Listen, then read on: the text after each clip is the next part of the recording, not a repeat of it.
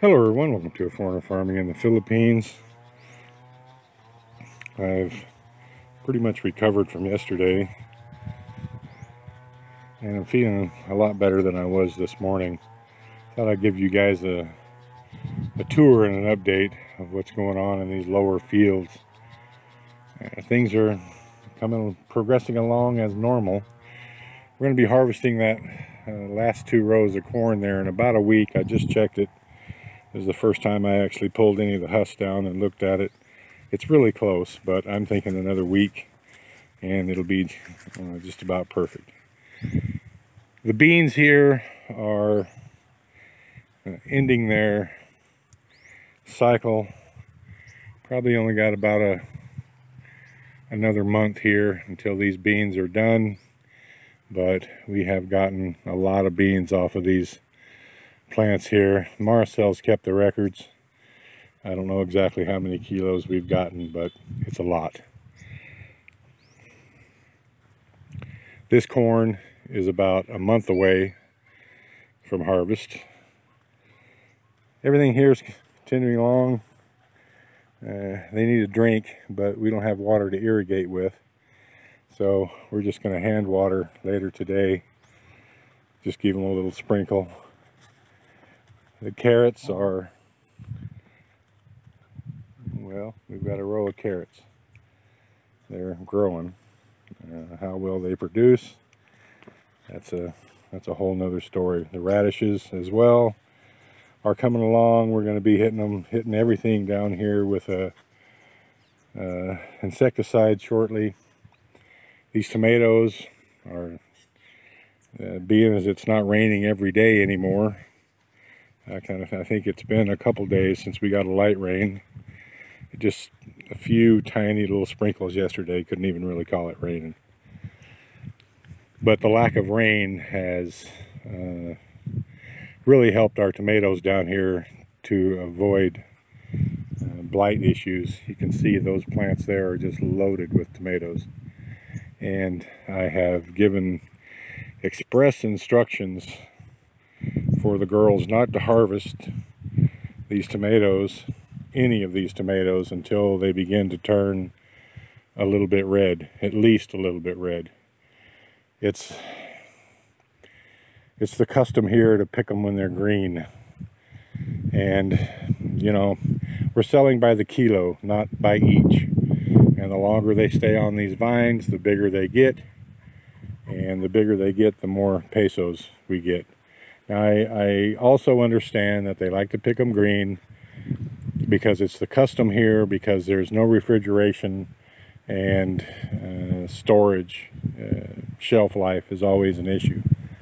So I'm kind of uh, splitting the difference with them rather than picking them marble sized and green uh, versus picking them uh, fully ripened uh, which is how I'm accustomed to do it in the in the west. Well, we're gonna we're gonna pick a happy medium and pick them just when they start uh, to turn.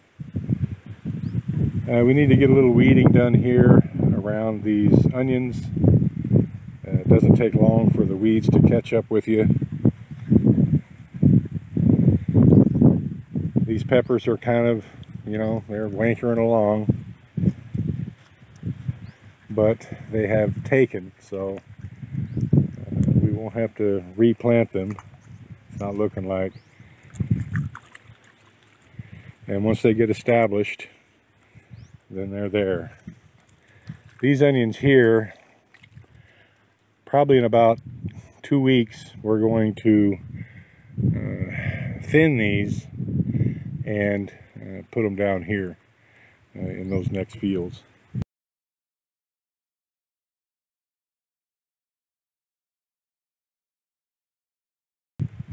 I still can't find my shovel, so uh, it's gone.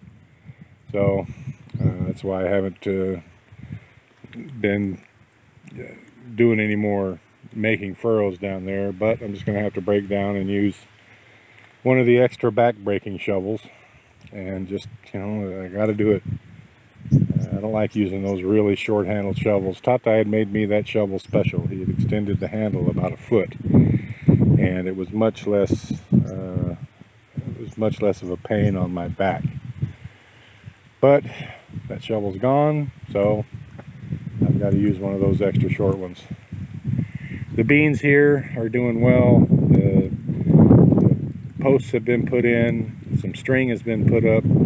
These beans are going great guns. The okra uh, is is nearing its end here. Uh, the corn needs a drink and some fertilizer.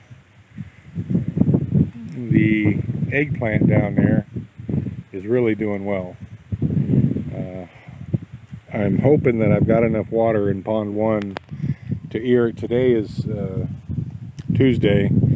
I'm hoping it's uh, full by Friday or Saturday so I can water again. Uh, that, that'd be a week interval A little bit a little bit more of an interval than I wanted. Uh, but uh, we don't have gas for the gas pump, so we're just relying on that uh, electric pump. And so it takes a bit longer. And we, when we were harvesting the fish yesterday, uh, because the nets were so hard to handle, we uh, drained a little bit of water from pond one back into pond two just so we would have something to mix the mud with that was caught in the nets and so we lost about four inches of water out of pond one which uh, is needed uh, for irrigation.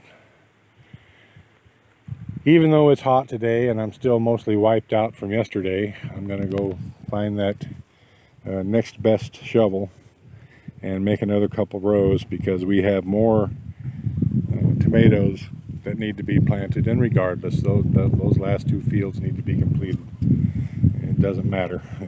What needs to be done needs to be done. These melons here are well they're making vines the original ones anyway the ones that were thinned out. Some these that were transplanted melons like I said before melons just don't transplant well. And so they basically haven't grown any and they won't. Now back in there those are doing a little bit better but uh, these all need a good drink and so beginning about three o'clock we're going to start beginning about three o'clock we're going to start uh, hand watering all this and we're going to do a little bit of fertilizing uh, that corn needs to be fertilized. The eggplant needs to be fertilized. Um, these melons here need to be fertilized. I'm going to wait a little bit on the carrots just because they're so sensitive. I don't want to. Maybe if I made a tea, uh, that would help them out some. Just uh, by making a tea, what I'm meaning is just soak the fertilizer for 28, 48 hours and uh, just use that water.